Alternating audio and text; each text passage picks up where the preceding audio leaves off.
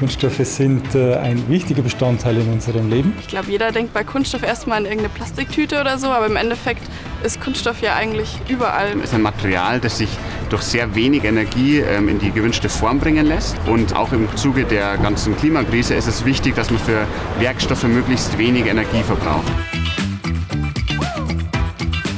Wenn man was bewegen möchte, dann ist man hier auf jeden Fall an der richtigen Stelle. Wir versuchen Lösungen zu finden und finden sie auch, wie wir in Zukunft Kunststoffe im Kreislauf führen können. Wenn man wirklich daran was ändern will, an dem nachhaltig und recyceln, dann glaube ich, muss man sich genau mit dem Werkstoff beschäftigen. Und das kann man halt nur, wenn man Kunststofftechnik studiert.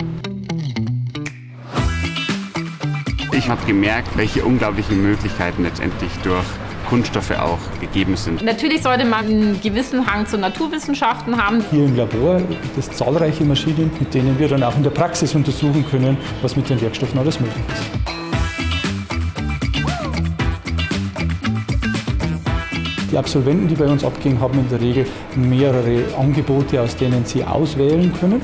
So genau, wo ich hin will, weiß ich noch nicht, aber ich finde Produktentwicklung auch recht interessant, weil man da auch einfach ein bisschen kreativ sein kann. Aber generell haben so große Maschinen schon auch was. Wenn ihr Teil der Lösung werden wollt, dann ähm, studiert Polymertechnik. Es ist ein sehr spannendes Zukunftsfeld, das sich ähm, nur weiterentwickeln wird.